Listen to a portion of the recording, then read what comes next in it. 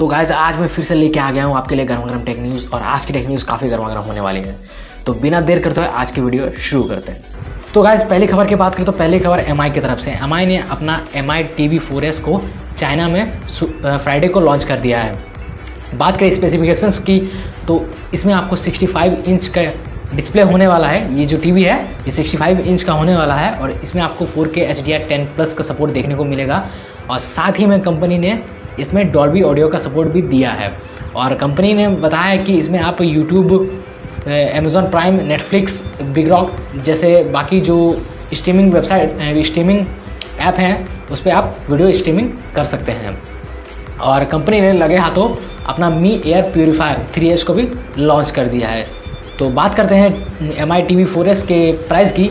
तो कंपनी ने इसे 549 यूरो यानी कि इंडिया में इसकी प्राइस कन्वर्ट की जाए तो 46,000 रखी गई है और M I air purifier three H की प्राइस कंपनी ने 179.99 यूरो रखी है यानी कि 15,000 के करीब रखी गई है।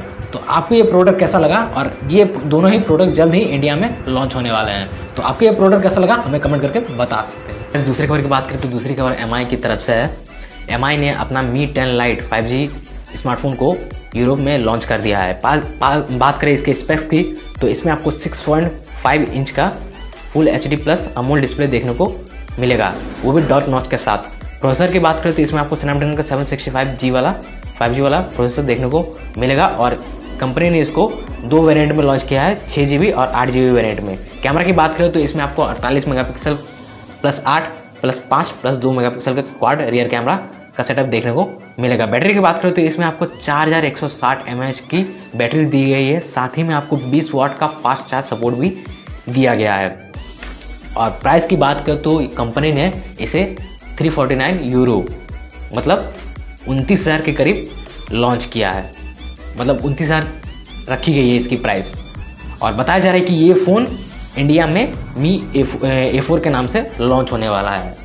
पर जो मी क्या मी की जो ए सीरीज़ है, वो पंद्रह हज़ार से सत्रह हज़ार के अंदर में आती है और इस फ़ोन की प्राइस उनतीस हज़ार रखी गई है। तो चाइना में लॉन्च हुआ है इंडिया में जब ये लॉन्च हुआ तो इससे कम प्राइस में तो आपको देखने को नहीं मिल सकता है। तो ये फ़ोन मी ए फोर नहीं हो सकता। तो गाइस तीसरे खबर की बात करें तो तीसरे खबर रेडमी की तरफ़ से। है रेडमी नाइन जो कुछ दिन से काफ़ी हलचल में थी तो उसकी कुछ तस्वीरें निकल के आ चुकी हैं। जैसा कि आप लोग डिस्प्ले में देख पा रहे होंगे, इसमें आपको बैक में ट्रिपल कैमरा का सेटअप देखने को मिल सकता है और फिंगरप्रिंट सेंसर भी देखने को मिल रहा है। और चौथा जो कैमरा होने वाला है, वो टी सेंसर है। साथ में आपको एलईडी फ्लैश भी देखने को मिल रहा है। और बताया जा रहा है कि इसमें आपको Helio G eighty MediaTek Helio G eighty का सपोर्ट भी देखने को मिलेगा। मतलब प्रोसेसर जो होने वाला है, वो मीडियाटेक हीलियो जी एटी होने वाला है। तो ये कन्फर्म नहीं है बट जैसे ही इसके बारे में और कुछ डिटेल निकलेगी, मैं आपको बता दूँगा। तो गाइस बात करें चौथे खबर की तो चौथे खबर रेडमी की तरफ़ से है। रेडमी नोट 8 प्रो का जो एम आई वाई इलेवन का एंड्रॉयड टेन का जो अपडेट है, वो रोल आउट कर दिया गया है। यहाँ पे रेडमी नोट 8 प्रो के एक यूज़र ने ट्विटर पे ट्वीट करके उसकी कुछ फ़ोटोज़ शेयर की हैं। जैसा कि आप लोग डिस्प्ले में देख पा रहे होंगे रेडमी नोट 8 प्रो में जो एम आई टेन का अपडेट है, वो M I Y eleven point zero point two point zero के नाम से रोल आउट किया गया है। और जो चार सौ चौंतीस एम बी की जो इसकी फ़ाइल साइज़ है, इसकी जो फ़ाइल साइज़ है, वो चार सौ चौंतीस एम बी है। तो आप अगर रेडमी नोट एट प्रो के यूज़र्स हैं तो आप अपने सिस्टम में जाके चेक कर सकते हैं और अपने फ़ोन को अपडेट करके M I Y eleven zero point two point zero का जो एंड्रॉइड टेन का अपडेट है, उसको फ़ायदा उठा सकते हैं। तो गाइस पांचवी खबर जो है, वो रियलमी की तरफ़ से है। रियलमी ने अपने रियलमी एक्स टू यूज़र्स के लिए एंड्रॉयड टेन का अपडेट रोल आउट कर दिया गया है और ये update Realme X two A point nineteen के नाम से है। अगर आप स्मार्टफ़ोन अपडेट मतलब अगर आप रियलमी एक्स टू यूज़ करते हैं तो आप अपने स्मार्टफ़ोन को अपडेट करके ये अपडेट रियलमी टेन का जो अपडेट है, उसे चेक कर सकते हैं। कंपनी ने इसमें काफ़ी कुछ चेंजेस किए हैं और काफ़ी कुछ फीचर्स भी ऐड किए हैं, जैसा कि आपको थ्री फिंगर स्क्रीनशॉट का फीचर्स आपको इसमें देखने को मिलेगा लेंस का मोड भी देखने को मिलेगा और नेविगेशन 3.0 का सपोर्ट भी देखने को मिलेगा। तो अगर आप रियलमी एक्स टू यूज़ करते हैं तो आप इस अपडेट को जाके चेक कर सकते हैं। तो गाइज़ ये खबर सैमसंग की तरफ़ से। सैमसंग अपना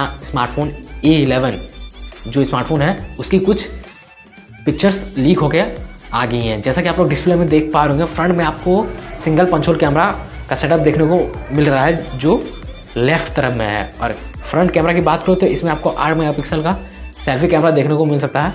और बैक में आपको ट्रिपल कैमरा का सेटअप देखने को मिल रहा है, जो कि तेरह मेगा पिक्सल पाँच mega pixel plus two mega pixel होने वाला है। रियर में आपको फिंगरप्रिंट सेंसर देखने को मिल रहा है और सिक्स पॉइंट इंच का एच डी प्लस डिस्प्ले होने वाला है। अभी सुपर अमोल डिस्प्ले होगा। अमोल डिस्प्ले होगा कि आई डिस्प्ले होगा, ये तो मुझे भी नहीं पता है।